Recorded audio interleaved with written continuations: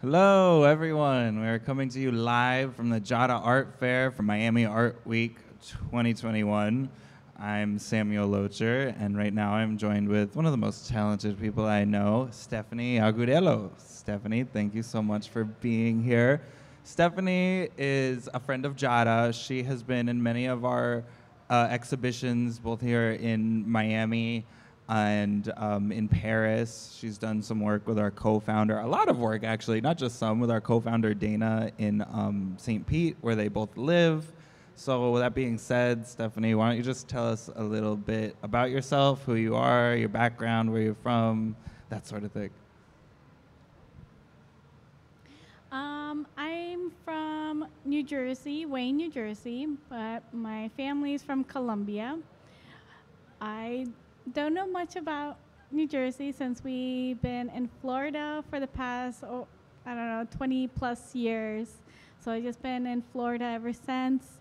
I lived in Miami for a period of time and then moved to St. Pete and just fell in love with the city since and been trying to build connections and create memories that I cherish. So why don't you tell us a little bit about you're a photographer by trade, right? And you do really artistic things with the camera. You're one of the most talented photographers I've ever seen. Tell us a little bit about how you got into that and what led you to start exploring more kind of artistic spaces with your photography.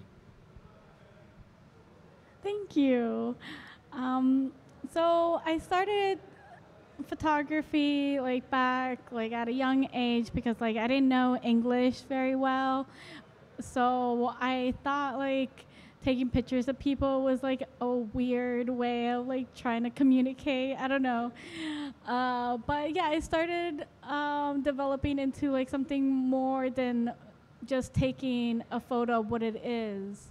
I wanted to take a photo like make like making my own um, image rather than uh, making an image of what, what is in front of my eyes.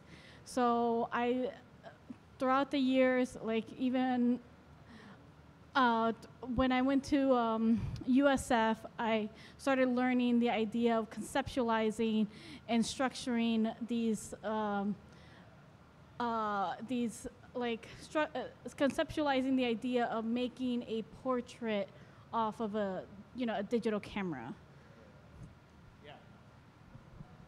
That's really great. So, one thing I know about you, but the people watching might not know, is you're really, really super hands-on with the art community in St. Pete.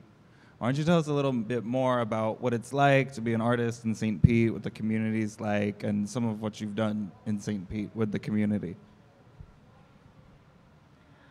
Um, well, St. Pete is very welcoming uh, as um, as it is, so it was very easily to get connected and build connections. But uh, where it started was I was a gallery assistant at Libertine Contemporary Gallery, which is actually they're in Basel right now as well. So I was that's where it got me to the idea of like I get to interact with other artists. This is so awesome.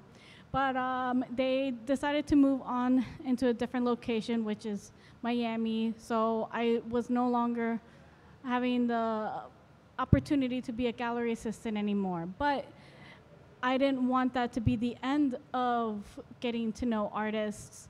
So I started trying to curate um, so I can reach out and give artists an opportunity to display and giving myself the opportunity to, you know, get to know more artists, get to know more like personalities or even like build friendships, connections, uh, whatever it comes down to it uh, in the long run. But uh, uh, curating for a whole year, I got to meet like hundreds of artists, different personalities, different types of painting installations, everything you can think of, and it's a um, an experience that I can't uh, put into words. It's it's like a roller coaster. It has its ups and downs. No, it really seems like to me, from my outside perspective, that you got the whole Tampa Bay like in a headlock right now. like, it's really great. Maybe it's not as malicious, right? Because it's more communal, but you know what I mean. Welcoming it, more of a hug, right? so why don't you tell us a little bit? Uh, who are some of your biggest inspirations artistically? Um, can I answer this both ways? Because I mean, honestly, Dana puts some amazing shows, and Jonathan. So it's like those are my main inspirations on, like, as a curator, to p- put on like you know, a whole curated, well curated show uh, and a well crowd. You know, well balanced crowd. Uh, and as an artist. Um, I would say Jason Hackenwerth, if I'm pronouncing his last name. Uh, he's a installation artist that uses balloons, and I just I, and I just get lost every single time I see like these gigantic bal- balloon installations. Uh, uh, and I got to meet him as a person. Is very ambitious, very um, well well um, well-rounded person. Like just a great, awesome artist to be around. So you're currently participating in Miami Art Week for I don't even know how many years in a row now. What do you have coming up on the horizon, and where can everyone find you online?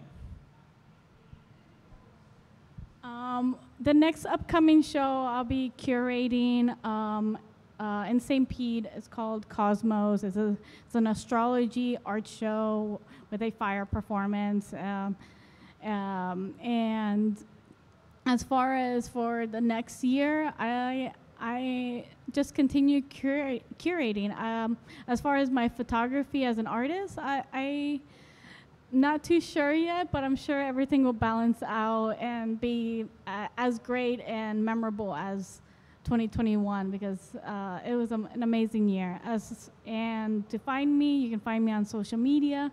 It's Sagudelo0357. If you can figure out how to spell it. We'll be sure to tag you and everything when we post it online. Thank you so much for joining us, Stephanie. Thank everyone for watching. Stay tuned for more. Take care. Bye.